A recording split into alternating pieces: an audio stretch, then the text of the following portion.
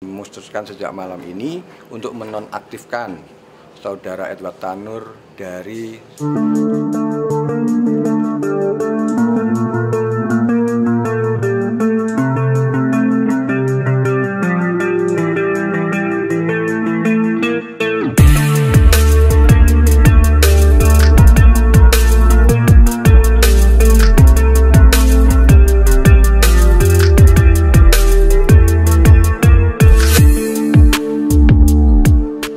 terkait dengan kasus hukum yang menimpa salah satu anak dari anggota FPKB DPR RI, Saudara Edward Tanur, kami dari DPPKB akan memutuskan dan memutuskan sejak malam ini untuk menonaktifkan Saudara Edward Tanur dari seluruh tugasnya di semua komisi.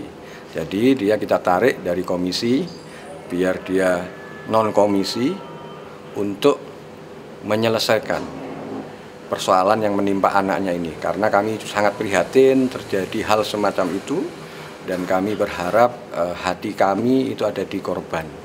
Karena itu kemudian kami mengambil kebijakan saudara Edward Tanur yang kebetulan menjadi anggota FPKB DPR RI dia juga bukan pengurus DPP tapi sebagai anggota fraksi kita cabut dirinya dari komisi di mana dia bertugas agar dia berkonsentrasi menyelesaikan persoalan anaknya ini dan mematuhi seluruh aturan main, seluruh peraturan perundang-undangan terkait ini. Kami semuanya sangat prihatin dengan apa yang terjadi di Surabaya itu. Oleh karena itu sebagai bentuk tanggung jawab moral Partai Kebangkitan Bangsa, kami bebas tugaskan saudara uh, Edward Tanur dari seluruh tugas-tugas ke dewanan di Komisi yang dia sedang memban di Komisi 4. Kami cabut keanggotaan komisi dia.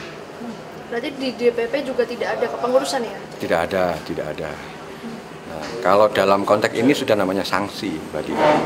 Tapi sanksi ini kami jatuhkan adalah pencabutan dia dari anggota komisinya dan besok kami perintahkan fraksi Partai Kebangkitan Bangsa untuk mengajukan surat pencabutan dari komisinya itu di DPR.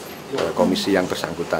Ini sebagai bentuk sanksi kami, sembari kami memberi kesempatan atas uh, persoalan terjadi di Surabaya agar dia segera membantu sebisa mungkin persoalan itu bisa selesai secara hukum dan kami tidak akan melakukan intervensi hukum apa pun terhadap itu.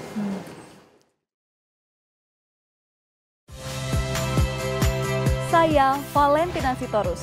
Saksikan program-program Kompas TV melalui siaran digital, pay TV, dan media streaming lainnya. Kompas TV, independen, terpercaya.